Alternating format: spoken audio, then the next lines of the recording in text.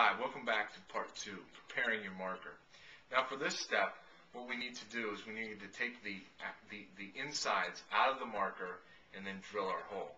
Now, in order to take the bottom of the marker off, all I'm going to do is use a pair of needle nose pliers and just pull it off, just like that. Now, there's still parts of the marker inside here. I'm going to dump it just in the trash like that. For the next part, I need to take the tip off the marker. Now, for this part, we're just going to pull it like this. And you need to be careful because the bottom of the mark, the rest of the marker is going to come out also. Just need to remove that. And now we're ready to drill our hole.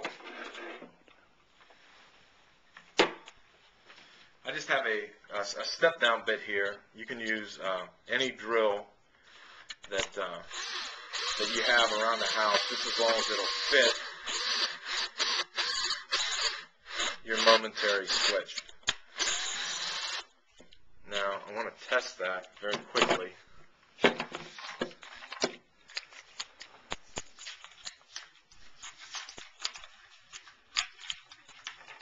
With my momentary switch, I'm just going to stick it in there like that. And you want it to be kind of snug, the hole to be.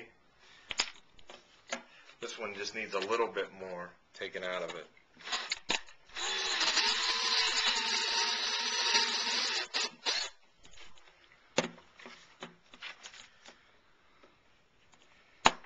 And there, snaps right in. That's going to work good. Now, in part two, we're going to show you how to assemble, the, or in part three, I'm sorry, we're going to show you how to assemble the, uh, the wires in the marker.